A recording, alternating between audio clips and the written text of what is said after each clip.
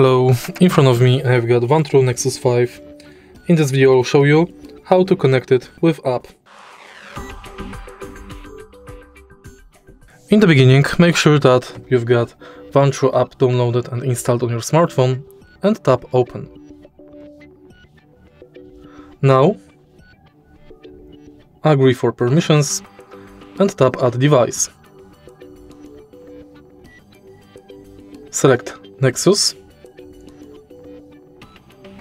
N5 and now turn on Wi-Fi. Connect to Wi-Fi of your dashcam. Enter password. Connect.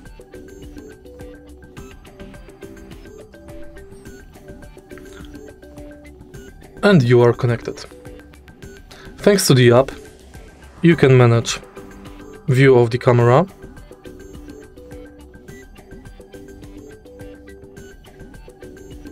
You can check mileage statistics.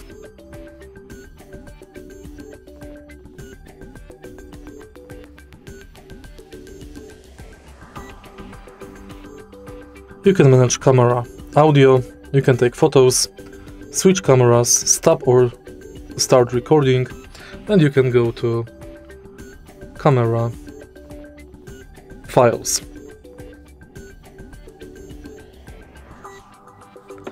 Next you can go to settings and in settings you can basically adjust each setting you can do on the camera itself.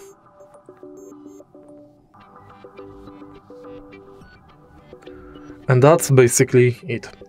If you find this video helpful, please leave like, comment and subscribe.